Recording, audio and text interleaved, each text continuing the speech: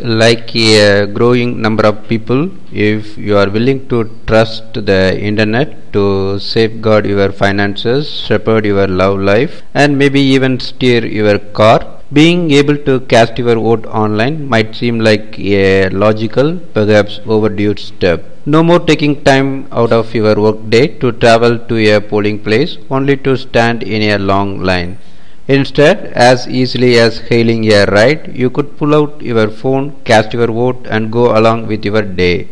Sounds great, right? Absolutely not, says Stanford computer science professor David Dill.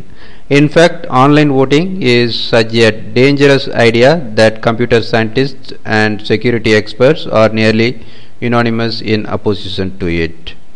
Dill first got involved in the debate around electronic voting in 2003 when he organized a group of computer scientists to voice concerns over the risks associated with the touchscreen voting machines that many districts considered implementing after the 2000 election in US. Since then, paperless touchscreen voting machines have all but died out partly as a result of public awareness campaigns by the Verified Voting Foundation, which Dill founded to help safeguard local, state, and federal elections.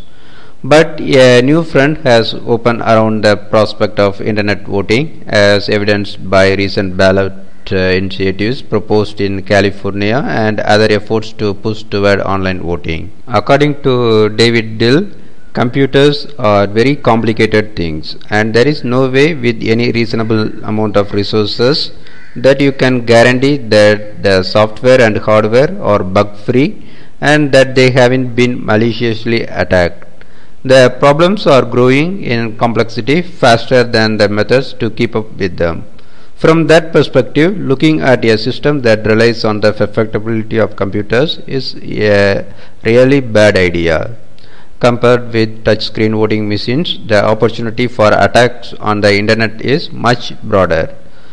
Suppose masses of emails get sent out to naive users saying that the voting website has been changed and after you submit your ballot and your credentials to the fake website it helpfully votes for you but changes some of the votes. You also have bots where millions of individual machines are controlled by a single person who uses them to send out spam. There is a program just sleeping on there waiting for somebody to come in and use it.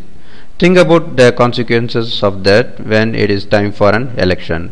People would vote on their personal computers not knowing that they were handing the ballot to a potential hostile middleman who could change the vote, and neither the voters nor election officials would see anything suspicious. Because of the secret ballot, there is no way for the voter to check that the ballot transmitted to the election office is the one they filled out on their computer.